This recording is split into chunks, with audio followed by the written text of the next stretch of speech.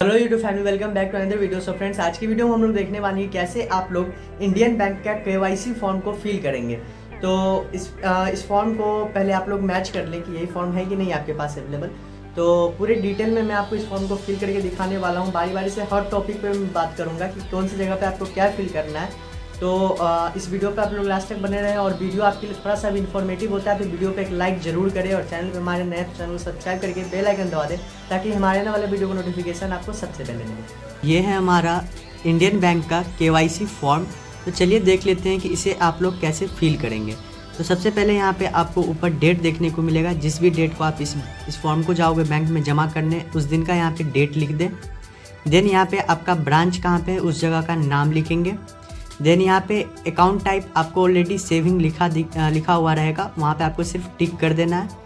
Then यहाँ पे ई के वाई सी रजिस्टर आप के वाई सी तो इस फॉर्म के लिए कर ही रहे हो ना? आपका तो होगा नहीं, इसी वजह से यस पे नहीं, यहाँ पे नो पे करना है टिक ठीक है?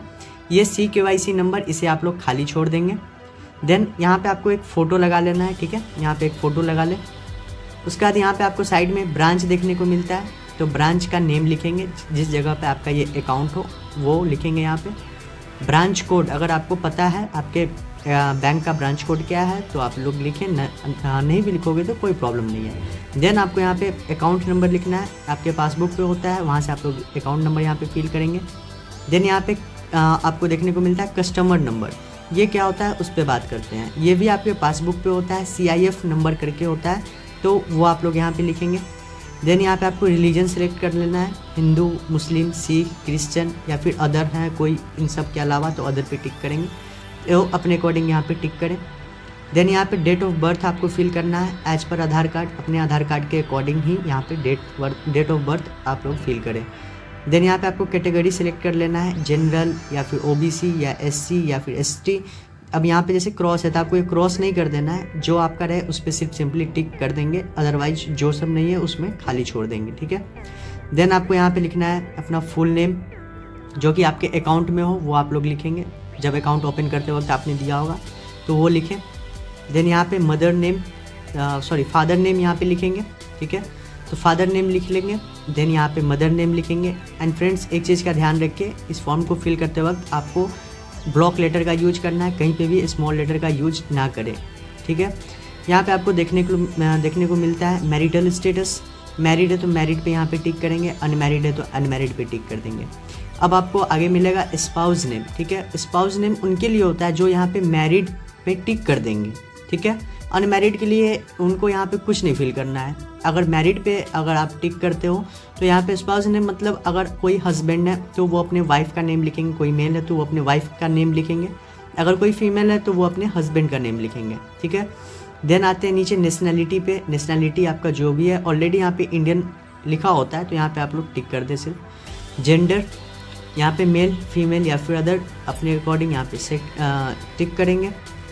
बर्थ प्लेस यहाँ पे सिटी नेम जो भी आपका हो, जहाँ पे आपका बर्थ प्लेस हो, वो आप लोग यहाँ पे लिखेंगे। यहाँ पे मैंने आपको समझाने के लिए just an example X Y Z मैंने कुछ भी यहाँ पे लिख दिया है। नीचे आने पे आपको मिलता है proof of identity P O I type submitted मतलब आइडेंटिटी आइडेंटिटी प्रूफ में आप क्या देना चाहते हैं? पैन या फिर आधार, कुछ भी आप दे सकते हो। मैंने यहाँ पे पैन लिखा है। पैन कार्ड आप लोग दे दें। या फिर आधार कार्ड भी दे सकते हैं। प्रूफ ऑफ़ एड्रेस में आप लोग आधार कार्ड या पैन कार्ड दोनों में से कोई भी दे दे सकते हैं। दोनों जगह आप सेम भी दे सकते हो, कोई प्रॉब्लम नहीं है। देन आते हैं पैन सबमिटेड अगर आपका पैन कार्ड है तो येस पे टिक करेंगे अदरवाइज़ नो पे टिक करेंगे।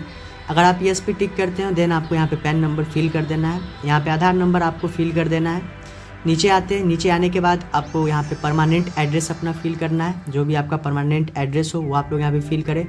कोरस्पेंडेंस एड्रेस मतलब जो जहाँ पे आप लोग रह रहे हो, उस जगह के यहाँ पे एड्रेस फिल कर दें। दोनों अगर सेम है तो दोनों सेम टू सेम ही लिख दें, ठीक है? नीचे आपको मिलता है मोबाइल नंबर फिल करने का ऑप्शन तो यहाँ पे आप लोग अपना मोबाइल नंबर एक्टिव वाला लिखेंगे। देन आपको यहाँ पे ईमेल आईडी अपना फिल करना है। फ़ोन नंबर ये रेसिडेंट और ऑफ़िस अगर आपका कोई ऑफिशियल नंबर है तो आप लोग वो यहाँ पे फिल करें अदरवाइज़ खाली छोड़ दें। एजुकेशनल क्वालिफिकेशन में आप लोग कहाँ तक पढ़े लिखे हैं, वो लिखना होता है, टेंथ, ट्वेल्थ, ग्रेजुएट, जो भी हो आपका, वो आप लोग यहाँ पे लिखेंगे। ऑक्यूपेशन नेचर ऑफ़ बिज़नेस वो लिखना है सर्विस करते हो या फिर जॉब है या फिर बिज़नेस है, जो भी आपका काम हो, वो आप लोग यहाँ पे लिखेंगे। स्टूडेंट हैं, अगर कोई तो स्टूडेंट लिखेंगे। एनुअल इनकम आपका कितना है मतलब पर ईयर आपका कितना एनुअल इनकम होता है, वो आप लोग यहाँ पे मेंशन करेंगे। एक्सपेक्टेड एनुअल टर्न और टर्न ओवर इस पर आपको खाली छोड़ दिए इसे नहीं भी फिल करेंगे, अगर आपको पता है तो आप लोग यहाँ पर लिख सकते हैं। एम्प्लॉय नेम ये उनके लिए होता है जो प्राइवेट सेक्टर में काम करते हैं, उनके लिए, ठीक है? तो अगर आपका नहीं है ऐसा कुछ तो आप लोग यहाँ पे लिख दें नॉट एप्लीकेबल ठीक है? खाली छोड़ दे, नहीं भी, ये भी नहीं लिखेंगे तो चलेगा। नीचे आते हैं अब हम लोग। एड्रेस ऑफ़ एम्प्लॉयर आपको देखने को मिलेगा, इसे भी खाली छोड़ दें। नंबर ऑफ़ डिपेंडेंट अब आपके ऊपर कितने पर्सन डिपेंडेंट हैं? उनका यहाँ पे नंबर लिखना है एक दो तीन चार ठीक है? वो लिखें net net worth as on date ये सब सारा की uh, सारा कुछ रेसिडेंशियल स्टेटस ये सारा कुछ आप लोग खाली छोड़ दें ये सब आपको फिल नहीं करना होता है बस ऐसे ही ये दिया गया हुआ है ठीक है? नीचे आते हैं नीचे आने पे आपको यहाँ पे डेट देखने को मिलता है जिस भी डेट को आप जा रहे हो उस बैंक को जमा करने के लिए उस दिन का यहाँ पे डेट लिख लेंगे। देन यहाँ पे आपको uh, एक सिग्नेचर कर देना है नीचे आपको एक्नॉलेजमेंट देखने को मिलता है ये सारा कुछ फॉर्म में आपको फिल करना है। फिल करने के बाद आपको बैंक में जमा करना है। इसके साथ आधार कार्ड अपना आधार कार्ड का जीरोक्स और पैन कार्ड का जीरोक्स का फ़ोटो कॉपी ठीक है? वो अटैच करके जमा करना है। देन बैंक के अधिकारी आपको ये यहाँ से फाड़ करके आपको दे देते हैं। ये सारा कुछ फिल करके वो खुद से ही ताकि आपके पास रहे प्रूफ के तौर पे कि आपका आपके अकाउंट में के कंप्लीट हो गया है। सो so, इस फॉर्म में आपको बस इतना ही कुछ फिल करना था। सो आई होप कि आपका भी ये फॉर्म फिल हो गया हो। अगर आपका भी फॉर्म ये फिल हो जाता है तो इस वीडियो पे एक लाइक ज़रूर करें और चैनल पे हमारे नए हैं तो चैनल को सब्सक्राइब करके बेल आइकन दबा दें, ताकि हमारे आने वाला वीडियो नोटिफिकेशन आपको सबसे पहले मिले।